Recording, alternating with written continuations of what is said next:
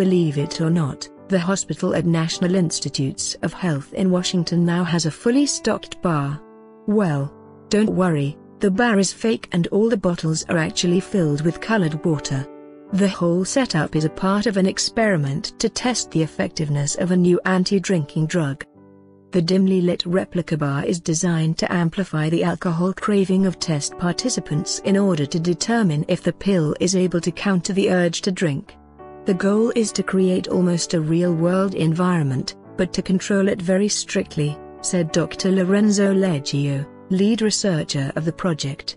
He revealed that the pill contains a hormone called ghrelin that is believed to increase appetite for food and perhaps inhibit the desire for alcohol. NIH's BarLab is one of about a dozen other versions in the US that are focused on experimenting with ghrelin. The hormone is produced by the stomach and controls appetite via receptors in the brain. Researchers have discovered an overlap between receptors that fuel overeating and those that encourage alcohol cravings in the body.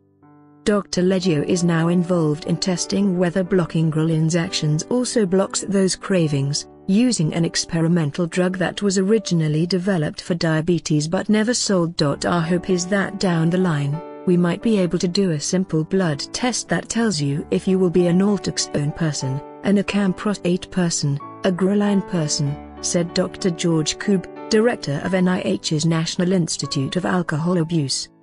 He also suggested that a recovering alcoholic needs a combination of several factors to be able to finally change habits.